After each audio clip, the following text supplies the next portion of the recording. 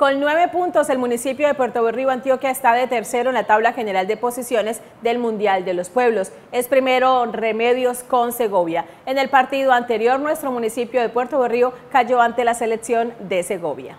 Un punto negativo se trajo la selección Puerto Berrío en la fecha jugada este fin de semana en el torneo intermunicipal que se está jugando. Esta vez el municipio de Segovia ganó un gol por cero y puso en la tabla de posición a la selección en la tercera casilla. Oscar Darío Muriel, entrenador de la selección Puerto Berrío, nos habló sobre este encuentro y qué se viene para nuestra selección. Eh, darles un balance de lo que fue la fecha este fin de semana del torneo intermunicipal. Estuvimos en el municipio de Remedios, Segovia, cerca de La Cruzada. Nos tocó jugar pues en La Cruzada porque Segovia no tiene en este momento escenario deportivo donde hacer la práctica del fútbol. El resultado fue 1-0 perdiendo. El gol fue faltando 5 minutos para terminar el partido. Los muchachos hicieron un buen compromiso, pero desafortunadamente pues el, balance no es positivo sino negativo, ya que no, no alcanzamos a eh, sacar un resultado de 0-0, que era uno de los que estábamos buscando, la victoria.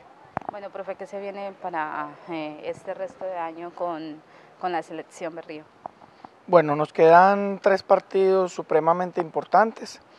Eh, el próximo domingo estaremos en el municipio de San Roque.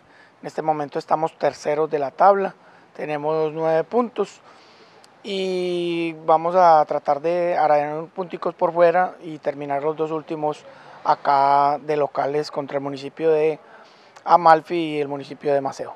Bueno, en este momento tenemos tres partidos que son supremamente importantes ya que la tabla está muy apretada. En este momento se encuentra Remedios con 13 puntos, está el municipio de Segovia con 11 puntos y ahí en la tabla continuamos nosotros de terceros con 9 puntos.